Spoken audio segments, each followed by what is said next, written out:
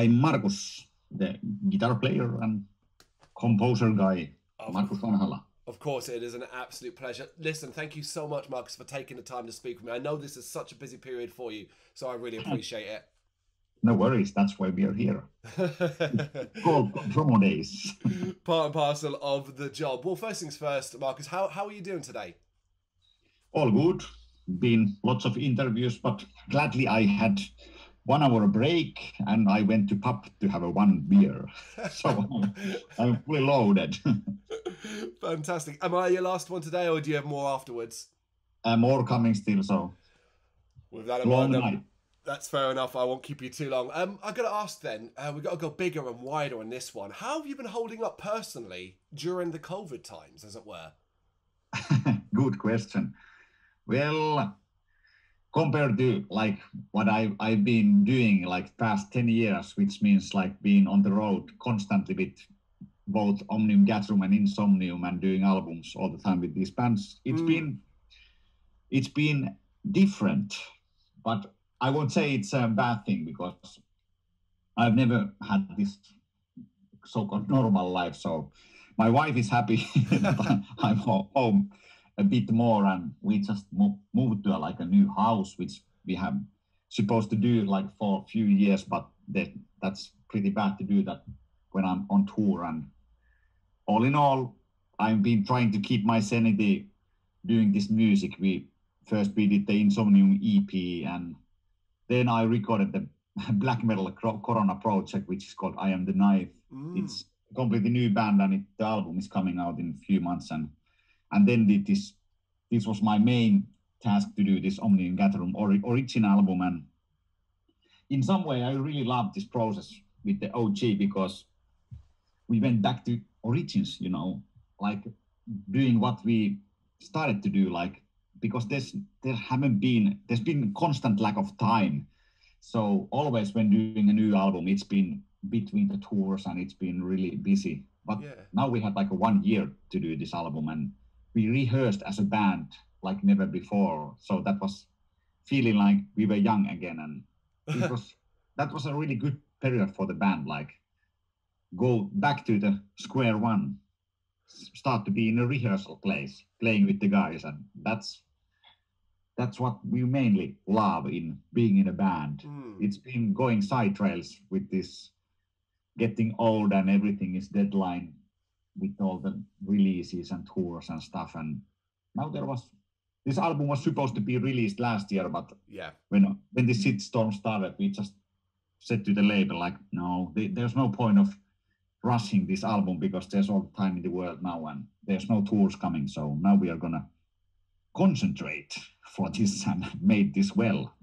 And I think we made it. I I can honestly say I'm really proud of the album and you can hear it's been kind of polished more and made like an actual entirety. I I throw so much of like a song skeletons to the trash bin on this album that I've never done. Wow. Kind of get the cold out of it. I mean, almost every band or artist we've spoken to in this period uh, has been saying the same sort of thing that the forced downtime with no touring, etc., has benefited them in regards to making their latest piece of work the best it could possibly be. So I guess, in as you've just said, you're agreeing with that. This is the best it could possibly be. Yeah, yeah. Use your time wisely. Yeah. As how we got the time. So considering you know the whole pandemic period and all that, do you think Omnium Gatherum, you know, you've ridden the wave and you've come out stronger for it? I, w- I would say so because I really feel this album, it's really our best work. Like you, you have always say with the new album, but with this album, there's something different. I'm, and it have to be like we really, really concentrated on this album and rehearsed this and all the stuff. We really put more effort to this album, and now we are loaded to play that on on the road concerts when the world opens, which is hopefully soon, and hopefully we also have like a lot of gigs coming because it's going to be a war field. All the bands in the world touring at the same time, so it's going to be tough. But I'm happy that we have at least bit lined up for now. And and with this new album, I have to say, like the first time ever I've done this when I heard this album ready when it Jens Bogren was mixing this, and when the master was ready, and Mm. I got the ready master. It's always I have a home studio here where I'm living, and I'm always sitting in my home studio, and my dog is always here. But he's she's been this whole process of this album here, and now when this album was ready, I was so enthusiastic about this album, and I thought it's so cool. I just grabbed my dog and hugged my dog and said like, "This is the album I'm, I'm trying to make for decades." So either either this album is really good or I'm going insane. I don't know. You can you can judge. Yeah, I think it'll be one of those hear it and judge it for yourself. I mean, considering Hmm. that enthusiasm, considering you've been sitting on it for such a while now, is that enthusiasm still there as strong now, particularly when you're this close to release? And um, are you just kind of ready to send it out to the world and just let it grow out there now instead? It, is the enthusiasm is is here still. I'm still I'm always feeling strongly what I'm doing and Mm.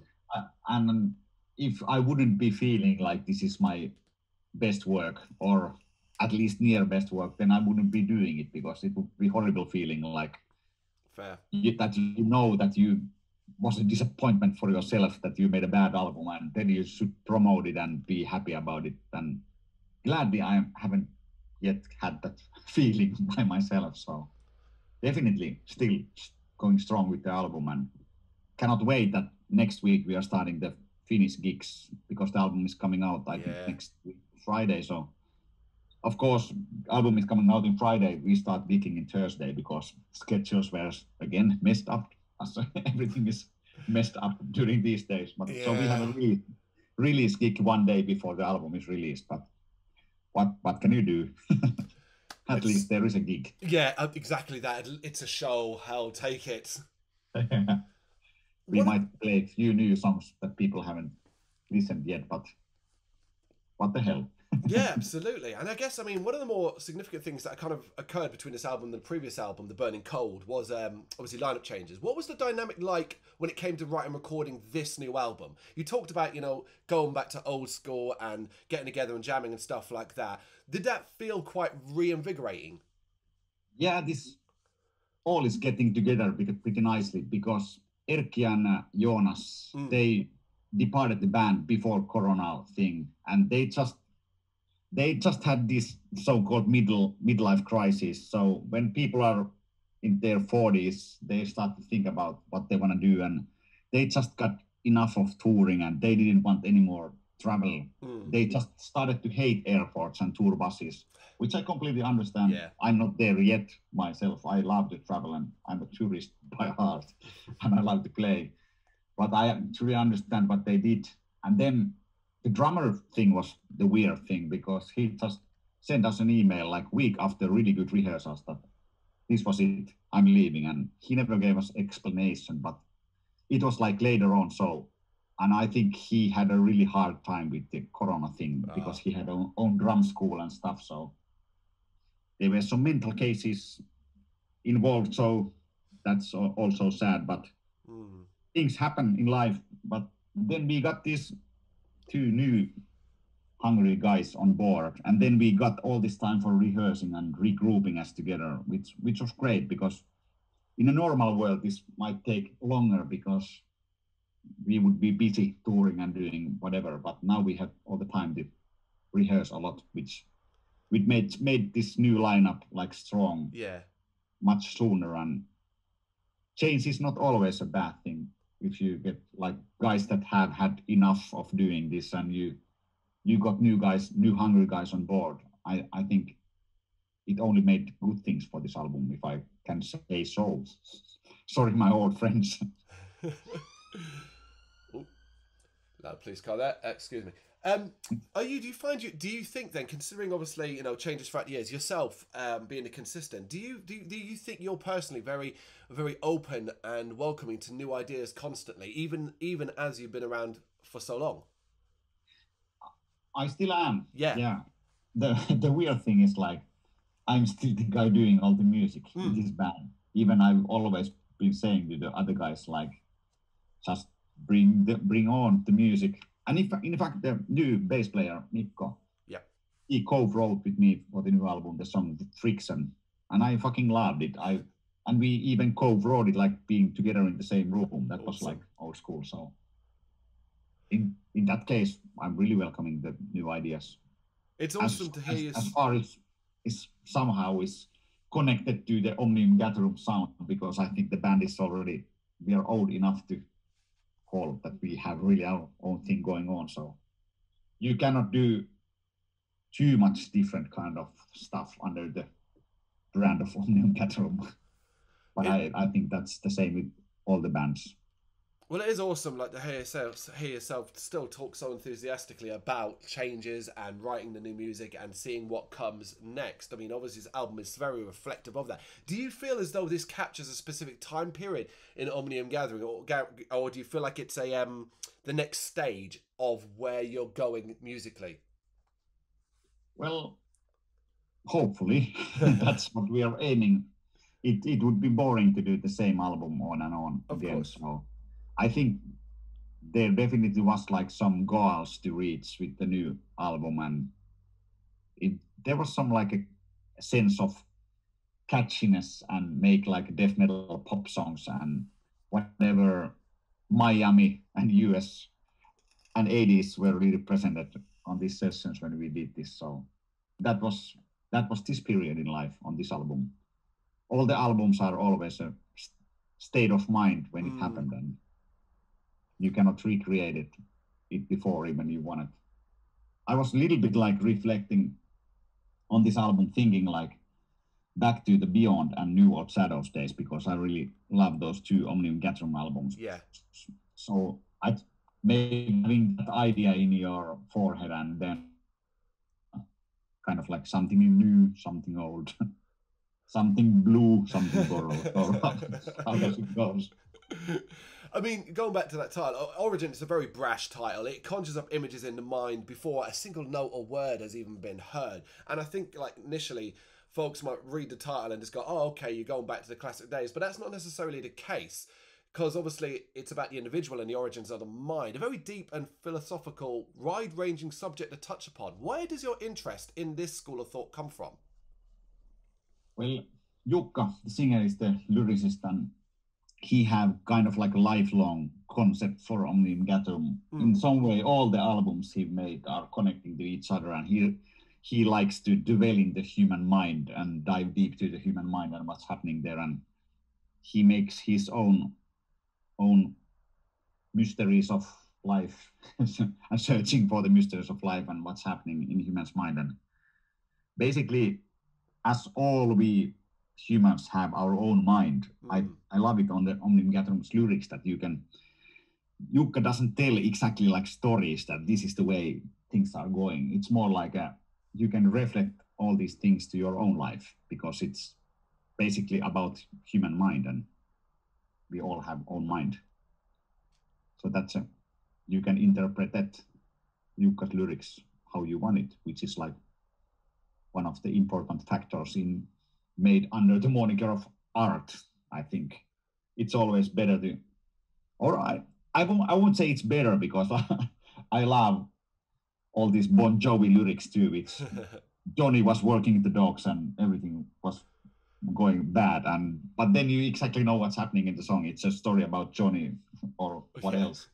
But Jukka's stories are more like a going to the inner self of human mind, and everyone can think about that in their own way. Would you agree it's fair to say that, I mean, uh, while there's plenty of depth to Origin, it's also an album that can still be enjoyed in a simpler, headbanging, horn throwing kind of way? Yeah, that that is OG is kind of like a headbanging band, and we we love it that people are headbanging on the gigs, and we are headbanging, and Jukka is always repeating the word headbang on our soul. So so that's true, and it's still like a. Even I said we were concentrating on the catchy or poppy side of the music, but Omnium Gatherum is still it's still a death metal band Yeah. and we we still have our death in our metal so Do you so that that's the recipe of making the best of both worlds catchiness and this brutality Yeah, it's the best of both worlds, as you say. Um, would you look around at your contemporaries, particularly obviously haven't been around for a fair while now, and modern bands are coming through? Do you look uh, at the similar thing, the melodic death metal side of things, the death metal, the extreme side, and uh, take much inspiration, or do you just not really pay that much attention to the scene? Well, I try to check out new bands, but Mm. I, I, but honestly, I don't. Maybe this answers your question. Me and Jani Liimatainen, who is like been a session guitar player in OG for a few years and is guitar player of Insomnium. We were just like a week ago drinking beer and thinking like new cool metal bands. Cool. And then then I I said Gojira. and then Jani started to laugh, like, uh, uh, "You think Gojira is a new band?" And I was like, "Yeah." And then Jani googled. It's formed in in the mid '90s. okay. well, so maybe maybe this answers your question about the new bands. Go- Gojira is a new band for me. So Oh, it's fantastic. What a discovery, though. What a discovery. Gojira are amazing. yeah, I mainly like a. I'm a huge music lover and music collector. I have a huge collection of vinyls and CDs, but I mainly listen the old stuff. Or if I buy a new stuff, it's these bands that I've been checking like for Mm. decades. And for example, today I got in mail like a new Dream Theater vinyl, ah. which was a pretty good. For sure. In fact, because I loved Dream Theater back in the 90s with the Awake Images and Words and Change of Seasons albums. But then it's it's just been going, it's not that good at all as they used to be. But with this new album, I got this feeling that I haven't got in many, many Dream Theater albums that this is actually pretty okay. Ah, that's nice. It's always nice when it happens. Yeah. Do you, you? I mean, you've got your fingers in so many pies. You're an incredibly busy man, as you said at the very start, with the li- listing what you're currently working and so on. Are you the kind of person? Do you think that if you were to stop and potentially just, all right, I'm not going to do music for a month or something like that, that you just wouldn't be able to do that? Uh, that's potential, potentially really happening. Yeah, I'm. I'm maybe that kind of guy. I try to.